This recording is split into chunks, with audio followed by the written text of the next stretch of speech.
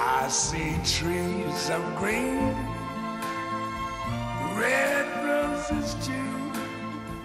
I see them bloom for me and you.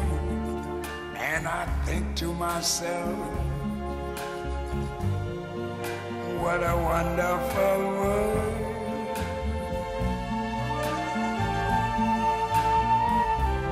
I see skies of blue clouds of white, the bright blessed day, the dark sacred night, and I think to myself,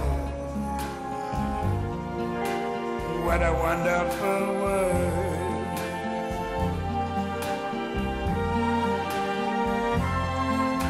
The colors of the rainbow, so pretty in the sky, also on the faces of people going by. I see friends shaking hands, saying, How do you do?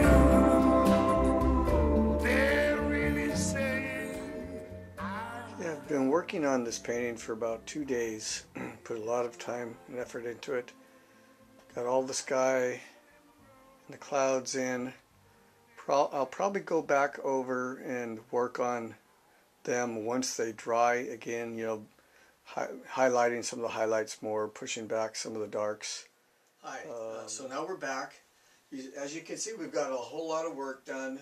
Uh, the last time you saw, I think I'd had these distant hills in over here. Well, since then, I've uh, added uh, like a lake of water. I've gotten some um, trees over here, trees in the hillside over on this side. So now I'm going to show them to you uh, as close-ups, and you'll get a lot better idea of what they look like. Now this here is like the, a close-up of the water.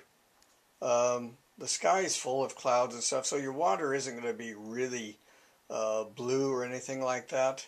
Although I may go in a little bit later and uh, glaze some a bluish effect to it just to see. I'm not really sure.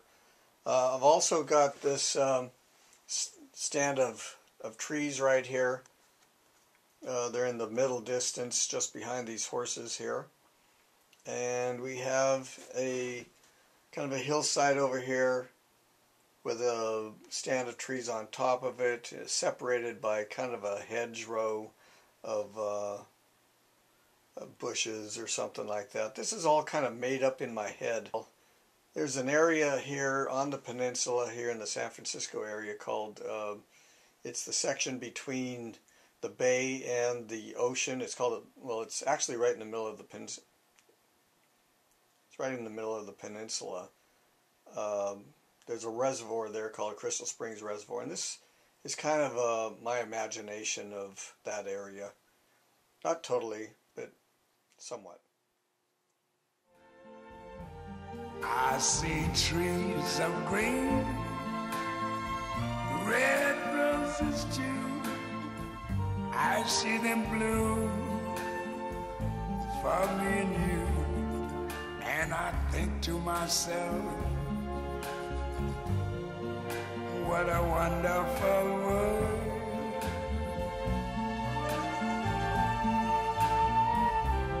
I see skies of blue clouds of white, the bright blessed day, the dark sacred night, and I think to myself, what a wonderful world.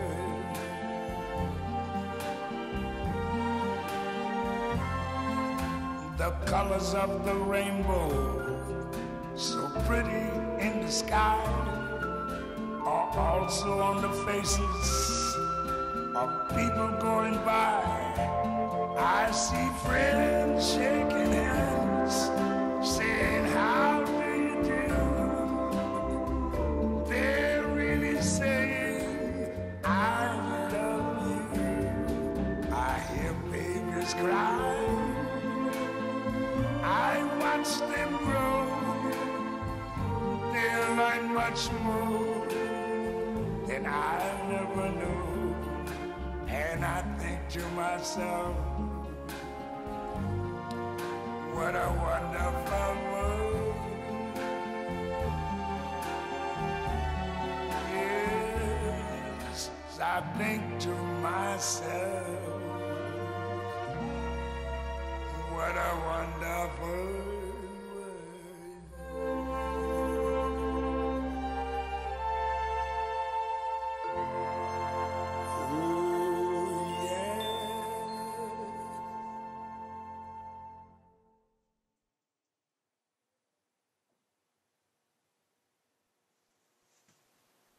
So you can see now we have the whole background done.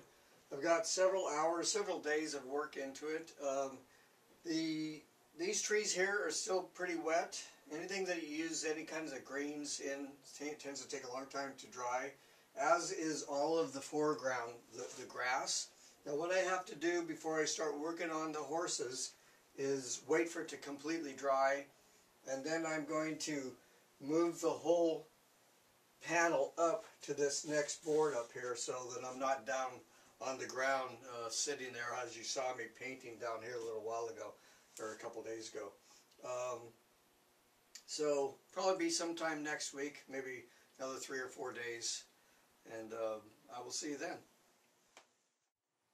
One thing that I did do with this painting, uh, especially with the uh, uh, the foreground, is instead of uh, because it was such a large painting, it would have been crazy trying to do the individual uh, oh, blades of grass. So I just kind of did splotches of color all around. And when you look at it close up, you can just see these big old brush strokes. When you see it from far away, it looks like grass. So just another little thing I wanted to show you.